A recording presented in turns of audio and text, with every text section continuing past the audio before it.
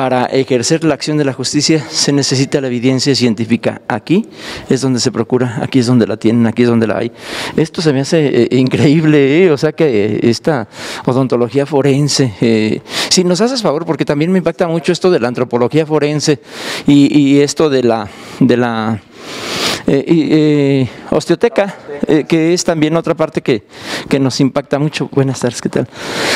nos impacta porque, bueno, aquí este, lo que usted ve allá al frente, pues son, son seres este, humanos que en este momento pues están, se están analizando y sí, este, el olor pues inmediatamente se percibe. Nosotros en alguna ocasión este, veíamos allí en Discovery Channel, perdón por la referencia, este, que a través del cráneo de un ser humano podrían reconstruirse inclusive sus facciones físicas, su rostro. ¿Es posible hacer esto aquí? Es correcto. De hecho, eh, eh, tocó a un servidor particularmente ser este quien tuvo el honor de iniciar este eh, con este proceso aquí en el en la fiscalía y efectivamente es todo un proceso anatómico en el cual a partir de la superficie craneal se va reconstruyendo cada uno de los planos de los planos anatómicos, lo que es el músculo, posteriormente la piel y todo esto se hace de manera muy rigurosa a través ya de estudios estudios eh, estadísticos para cada población que nos van determinando el espesor en cada uno de los puntos estandarizados del, cráneo.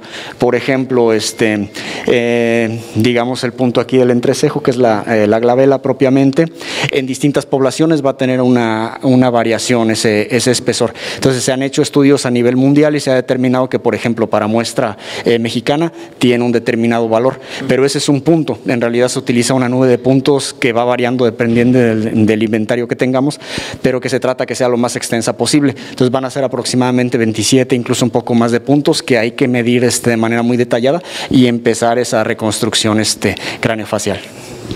Impresionante, impresionante. Vemos aquí muchísimos este, eh, archivos, cajas. Este, eh, aquí dentro de cada una de ellas, como lo vemos también en, las series de, televisión, hay restos de seres humanos, huesos.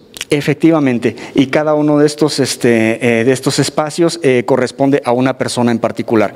Parte del proceso que se realiza en, en antropología forense, ya sea por la parte de, de, identificación o de investigación, es individualizar a las personas. Por ejemplo, si en un contexto se encontraran eh, restos óseos mezclados, por ejemplo, de dos, tres personas, habría que separarlos. Ese proceso se llama individualización y es el primer paso para lograr la, la identidad de cada persona. Y obviamente se necesita un grado muy muy alto de conocimiento de la anatomía para que los antropólogos puedan determinar si un hueso pertenece a una o a otra persona. Interesantísimo. Y la verdad, es que nadie se escapa ya viendo todo esto, cómo se tiene la preparación y cómo se tiene científicamente este, eh, basado, fundamentado. Pues hay mucho, mucho, mucho para poder decir que nadie se pueda escapar.